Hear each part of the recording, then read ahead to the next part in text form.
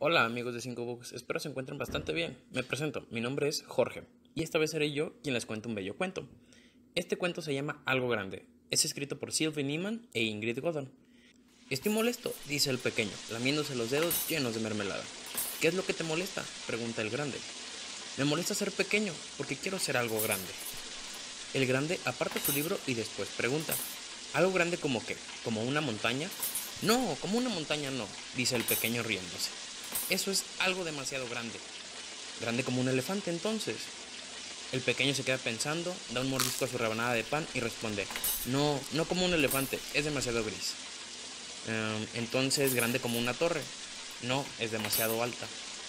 Bueno, entonces, grande como una casa entonces. No, no estoy seguro. En todo caso, no se parecería a una casa. Entonces, ¿a qué se parecería? le pregunta el grande.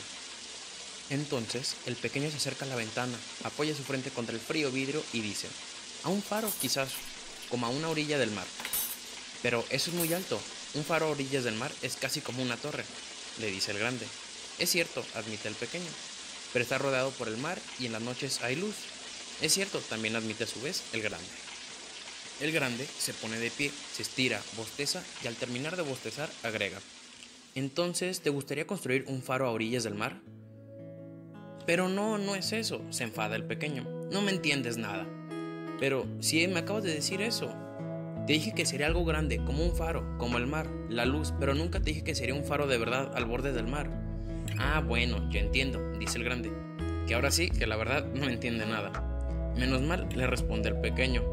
Un tanto más tranquilo, pero no del todo. El grande empieza a hojear su libro y encuentra una idea. Y no será por casualidad algo grande como un viaje, le dice el grande al pequeño.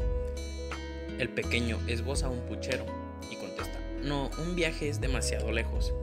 Por supuesto, claro, y un viaje no tan lejos, le dice el grande. El pequeño reflexiona y luego accidente. Un viaje no tan lejos podría ser.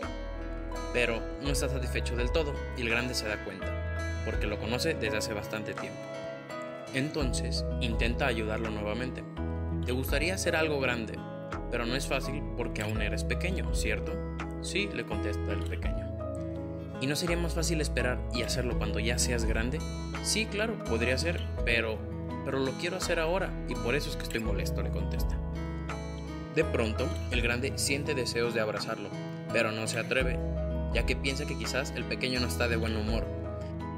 Ahorita, lo primordial es poder resolver este asunto de las cosas grandes. Mm, y si salimos a pasear, le pregunta el grande al pequeño, y el pequeño responde de muy buena manera, diciéndole que sí. Afuera llueve, pero no mucho. Llueve justo lo necesario, piensa el grande mientras observa cómo el pequeño corre hacia el mar. También piensa en lo mucho que quiere a este pequeño, con sus divertidas ocurrencias y sus simpáticas botas. No logra recordar si a él también se le ocurrían este tipo de cosas cuando él era un niño. El pequeño corre hacia la arena con los brazos hacia los lados, dibujando un gran círculo e imitando el ruido de los aviones. Y si fuera algo grande como ese círculo que estás haciendo, le sugiere el grande lleno de entusiasmo. Pero no, responde el pequeño jadeando. Eso sería demasiado fácil. Entonces deja de correr, se pone a caminar junto al grande y le toma la mano. Al cabo de un momento, el grande le propone algo al pequeño. Mm, ¿Y si hiciera algo pequeño y tú algo grande y entre los dos nos ayudamos? El pequeño frunce el ceño como si fuera a regañar al grande. No creo que se pueda, dice.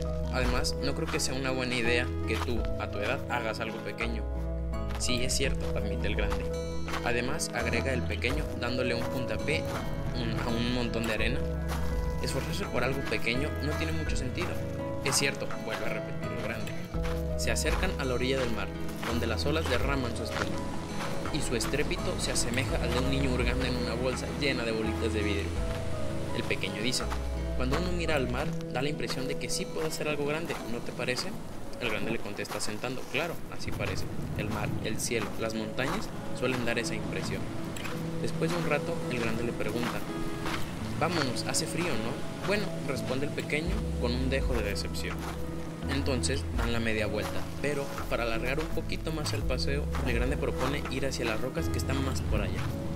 Es entonces cuando el pequeño lo ve, un pez expulsado por el mar. ha quedado atrapado en el hueco de una roca que las olas llenan a ratos. El pequeño camina hacia el pez, se inclina y lo toma entre sus manos. Frunce el ceño, pues no es nada fácil. El pez es muy liso y resbaladizo. Cuidadosamente, el pequeño regresa a la arena, camina hacia el mar y se mete al agua. Después de dar algunos pasos, suelta al pez y se queda ahí contemplando la superficie del agua, por si logra verlo nadar. Al salir del agua, está empapado y titiriteando, y le da su mano fría y mojada al grande. Nos vamos a ir a casa, Voy a encender la chimenea y tomaremos un chocolate caliente, dice el grande, llevándose ambas manos, la mojada del pequeño y la suya más seca, al bolsillo de su abrigo. Se van caminando en silencio, contemplan la arena y escuchan el mar. Al cabo de un rato, el grande dice, ¿sabes? Creo que lo que acabas de hacer ahí es algo grande. ¿Tú crees? pregunta el pequeño, fijando la mirada en sus pantalones, que a cada paso que da se van llenando de arena y dificultan su caminar. Estoy seguro, responde el grande, tomando el pequeño en sus brazos. Y así es como se lo lleva hasta su casa. De esta manera es como termina este bello cuento, con una frase que dice así. Un niño pequeño sueña siempre con cosas grandes. ¿Qué les parece si me dejan en los comentarios su opinión sobre este cuento? Ahora sí, llegó el momento de despedirnos. Muchas gracias por haber prestado atención a este pequeño video aquí en la cuenta de Instagram de 5books.